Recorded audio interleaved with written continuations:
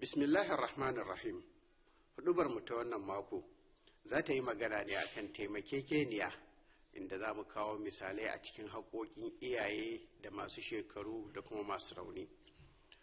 Godiya ta tabbata ga allah ubangijin talikai wanda a cikin littafinsa mai girma yake cewa wa ahsinu inna allaha yuhibbul muhsinin. Ma'ana ku kyautata domin lallai allah maɗaukakin sarki yana son masu kyautatawa. Ina shaidawa babu abin bautawa da gaskiya sai allah shi kaɗai ba shi da abokin tarayya.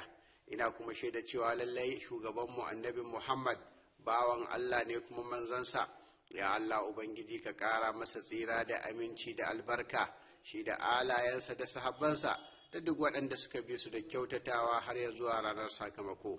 Bayan haka babu shakka sako addinin musulunci sako ne na mutuntaka sako ne na biyayya sako ne na tausayi. Sako ne na ci gaba. Sako ne da ke nufin samar da kyakkyawar rayuwa na karamci ga ɗan adam.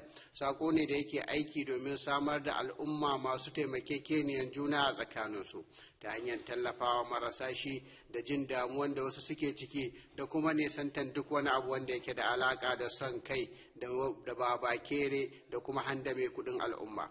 Annabi sallallahu alaihi wa alihi wa sallama yana cewa wallahi bai yi imani da ni ba duk mutumin da ya kwana a ƙoshe a daidai lokacin da makocinsa ya kwana cikin yunwa kuma yana sane. Babu shakka annabi sallallahu alaihi wa sallama ya bayyana mana irin wannan matsayi saboda ya bayyana mana cewa taimakekeniya wajibi ne. Bai kamata musulmi ya bar dan uwansa musulmi ya kwana cikin hali na kakanikai ba. Babu shakka Allah subhanahu wa ta'ala yana son bayan Allah waɗanda suke yin taimakekeniya tsakaninsu da juna da waɗanda suke aiki wurin biyan bukatun wasunsu. Babu shakka kyawawan ɗabi'u na addini waɗanda ake buƙata a cikin addinin musulunci abu ne wanda ake buƙata kai mu'amala da shi ga ɗaukacin mutane. Ka zama kayan aiki wurin tabbatar da wato abubuwan masu mutukar muhimmanci wurin tallafa musu a lokacin damuwa da kuma bayar da taimako ga masu rauni musamman ma waɗanda suka fi cancanta da a ba su kulawa na musamman. Babu shakka sadaka na ɗaya daga cikin hanyoyin da ake bi wurin ƙarfafa zumunci da kuma ƙarfafa ci gaban al'umma. Shi kuwa haƙƙin iyaye guda biyu da yi musu biyayya wani abu ne wanda ba shi da kama. Allah maɗaukakin sarki ya ba mu umarnin da mu kyautata musu. Kyautatawa na ƙarshe allah mai girma da ɗaukaka yana cewa wa rabbuka allah ta'budu illa iyyah وبالوالدين إحسانا إما يبلغن عندك الكبر أحدهما أو كلاهما فلا تقل لهما أف ولا تنهرهما وقل لهما قولا كريما واخفض لهما جناح الذل من الرحمة وقل رب ارحمهما كما ربياني صغيرا ma'ana lallai ubangijinka ya riga ya hukunta cewa kar a bautawa kowa sai shi shi kadai kuma su iyaye a kyautata masu. Idan ɗaya daga cikinsu ko dukansu su biyu suka kai girma to kada ka soma ka hantare su. Kada ka ce musu magana mara daɗi ka gaya masu magana mai girma da karamci ka kuma kwantar da kai ka tausaya masu kai musu addu'a ka ce ya ubangiji ina roƙon ka kai musu rahama kamar yadda suka raine ni ina ƙarami babu shakka bin iyaye ɗabi'a ce ta mutanen kirki. Ɗabi'a ce wanda dukkan shari'o'in da Allah maɗaukakin sarki ya aiko da shi suka kira a kai. Amma yadda yake ce kamar yadda kuma ɗabi'a ce ta annabawa da manzanni. Ga annabi Yahya alaihi salam nan Allah maɗaukakin sarki yana yabansa ya sifanta shi da cewa wa barran bi walidai. Ma'ana mai biyayya ne ga iyayensa walam yaku jabbaran asiya. Bai zama mutum mai kangarare mai kuma saba Allah ba. Haka ma Allah maɗaukakin sarki ya sifanta annabi Isa alaihi salam a lokacin da bakinsa yake cewa wa barran bi walidati walam yaj'alni jabbaran shaqiya. Ma'ana ni ɗin nan ina yin biyayya ga mahaifiyata ubangiji na bai sanya ni kangararre kuma mara rabo ba.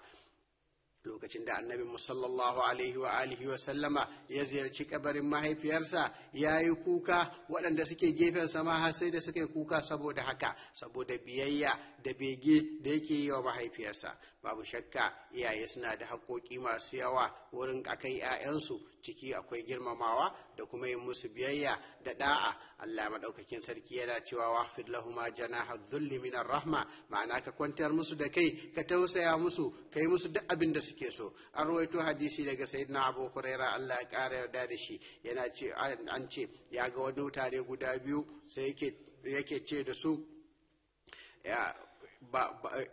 babanka yana raye sai ke ce eh to kada ka soma ka kira sunan babanka ka kira wani da shi wannan kada ka tafi a gabansa kada kuma ka zauna kafin ya zauna. Babu shakka a cikin halin kyautatawa zuwa ga iyaye dole ne mu kyautata musu mu duk abin da suka mana na kyautatawa to mu ma mu gabatar da shi a gare su domin ci gaba. Allah madaukakin sarki yana cewa in ma yablu wannan inda kalkibara ahduma aw kilahuma fala taqul lahumu uffin wala tanharhuma وقل لهما قولا كريما واحفظ لهما جناح الذل من الرحمة وقل رب ارحمهما كما ربياني صغيرا. معنى دي وبنجي أنم ya neme mu yadda suka ba mu kyautatawa da kulawa lokacin da muke kanana to mu yadda su ma Allah subhanahu wa ta'ala ya ji kansu ya kyautata masu bayan mu ma mun kyautata masu. Babu shakka wanda ya samu dacewa shine mutumin da yake neman yardan iyayensa ta hanyar kyautata masa. Wannan kam zai samu kyakkyawar rayuwa a duniya da lahira. Annabi muhammad sallallahu alaihi wasallama yana cewa addu'o'i guda uku ba a mayar da su ana amsa su. Addu'an wanda aka zalunta da addu'an matafi da addu'an kuma uba idan ya yi maɗansa don haka addu'an iyaye a kai ‘ya'yansu addu'a ce wacce take mai ƙarfi addu'a ce wacce take neman da alhairi don haka mu yi abubuwan da zai sa iyayenmu su ce ala sanya albarka allah ya mana alheri da sauran abubuwa irin waɗannan al'amura. Godiya ta tabbata ga allah ubangijin talikai. Tsira da aminci su tabbata ga cikamakin annabawa da manzanni. Shugabanmu annabi muhammad da alayensa da sahabbansa baki ɗaya. Lallai shari'ar musulunci kamar yadda ta ƙarfafa biyayya ga iyaye haka ma ta yi wasici da a kyautata ma waɗanda suke masu yawan shekaru da masu rauni. A kuma biya musu dukkan bukatunsu a girmama su a kula da su da abubuwan da ya kamata a kula su. Har allah maɗaukakin sarki ya sanya girmama su girmama ubangiji subhanahu wa ta'ala ne.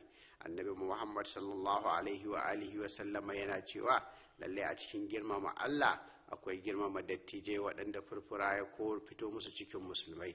Da haka masu shekaru a cikin suna da haƙƙi na mu girmama su mu mutunta su mu ba su dukkan abubuwan da suke buƙata shi yasa annabi mu sallallahu alaihi wa alihi wa sallama yana cewa duk mutumin da bai tausaya ma ƙaramin cikinmu ba bai kuma girmama babban cikinmu ba ba shi daga cikinmu haka annabi sallallahu alaihi wa sallama ya bayyana mana cewa ƙarami shine zai yi sallama ga kan ga babba. Don haka duk mutumin da ya kai wannan shekara to ya kamata a kyautata masa a basa dukkan abubuwan da ya dace. Wannan matsayin a cikin addininmu na musulunci baya bambance tsakanin waɗanda suke masu yawan shekaru musulmai da waɗanda ba musulmai ba. Ga sayyidina umar alaihi salam ya ga wani mutum tsoho ba yahude yana roƙon mutane da ya je gurin shi ya ɗauke shi ya tambaye shi ya cewa ba yahude ce wallahi ba mu kyautata maka ba. Idan har mun cinye ƙuruciyanka sannan kuma muka bar ka to zata a lokacin da ka girma. Babu shakka muna buƙatan gabatar da taimakon da ya dace wurin kyautatawa iyayenmu da kyautatawa masu tsawon shekaru da kuma kyautatawa masu rauni. Da haka sai al'umma ta ji daɗi ta samu kwanciyar hankali dama kuma shine abin buƙata ya allah ubangiji muna roƙonka ka kare mana ƙasarmu da sauran ƙasashe baki ɗaya.